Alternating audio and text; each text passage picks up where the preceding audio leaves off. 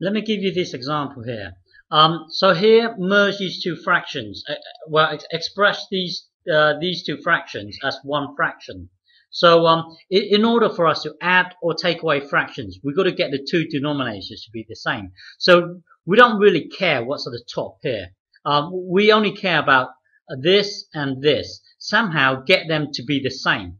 So remember, with fractions, you can only times top and bottom by the same thing. So over here, that to get the 14, I know that look look at the 7 and look at the 14. What's in common? It's actually the number 14. So all I need to do here is times times. Well, I need a 2 here in order to make the 14.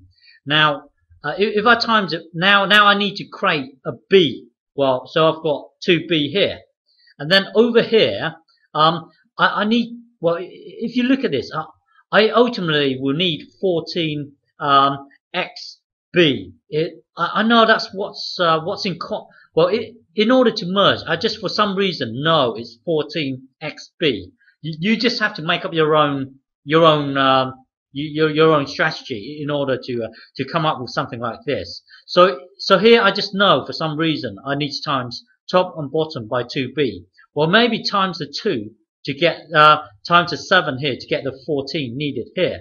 And I know that well I'm going to need the x and the b uh, so, so well, develop your own technique. So somehow you you got to you got to somehow get the two denominators to be the same. So um, so on this side, I I know I well I, I'm, going to create the 14. So in effect, I need a one. But when you times one with something here later on, we can get rid of the one. Um, so so here, hang on. Uh, here I would need to times by one x. But again, we, we don't need the one because one times x is just x.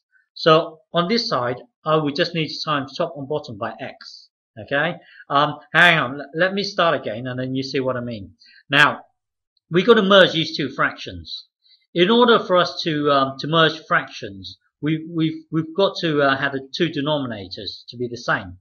Here, for remember, develop your own technique. For me, it's uh, I just know this is going to be 2b. This is going to be 2b well, times top and bottom by 2b. Over here, um, I'm going to times uh, top and bottom by just x. Okay, so here it would be, uh, well, hang on, this times this would be uh, 4 times 2 would be 8 uh, AB, 8AB. Okay, now this times this would be 14BX. Um, so put the the plus in there. And now um, 3xy or 3yx, it doesn't matter. Now it's going to be uh, 14bx. You see, now the two denominators are the same. Now we can just merge. Okay, so um, so it would be this uh, 14bx, and when we merge, it would be 8ab plus 3xy. Okay, so there, we've, we've just merged your two fractions together. Okay, now it's your turn. This one's easier. Um, just um, just some somehow get the two denominators to be the same. Okay, so um, so press pause and have a go. Press pause and have a go. So here you've got this fraction here. You want to merge it with this fraction here. So times top and bottom here by e and on this side times top and bottom here by c. And then the two denominators will be the same. So, hang on, plus. Um, well, I know this is going to be uh, over here. It's going to be EC. Well, EC or CE, doesn't matter. It's, it's like saying 5 times 3 is the same as 3 times 5. Okay, so just, just bear in mind that these two are actually the same denominator. Okay. Um, well, anyway, at the top here, it would be 3b, well, times these two together, it would be 3bex. Okay. Um, I'm, I'm just trying to keep it alphabetical. A, B, C, D, E, F, blah, blah, blah, blah. Well, trying, it's not important, but, um, yeah, okay. Uh, here, it's going to be, uh, 3A, B, C. Okay. Now, now that the uh, two denominators are, are, the same, see, uh, we, we can merge. So it will be uh, CE or, or EC, doesn't matter, 3bex uh, plus 3abc. There, you just merged um, two fractions. Okay, I, I will do an. I will give you another example here. Okay, this. Well, we don't really care what's uh, what's on the top here. Uh, we only care about getting the two uh, denominators to be the same. Okay. Um, I, I I'm going to times top and bottom here by well I'm going to create a nine. I need to create a nine. Look at the nine and the three. What I know I'm going to need a 9. So here to, to create the 9, I need a 3. Again, I know when I'm explaining this, you probably don't understand, but but just develop your own technique. Just just watch and then and then and then try different things for yourself.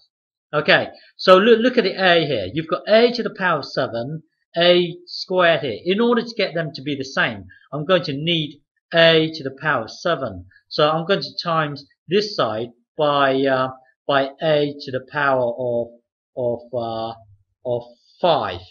Okay, um, uh, and then uh, hang on, let's let's look at the b. b squared and b to the power of uh, of uh, three. So I, am going to need um, over on this side. Well, I, I've only got b squared here, so I'm going to need another b here. Again, um, I know this sounds weird, but just just, you well, just develop your own technique here. Okay, so I know that, um, well, I'm going to time, hang on, let, let, let me do this again. Remember this, okay? The 3b and a to the power of 5. So we're, we're timesing top and bottom by a to the power of 5 over here, 3b over here. I'm going to clear up everything, so, um, so hang on. So here, remember, we've got to merge these two fractions, okay? So we are going to times top and bottom by the same thing.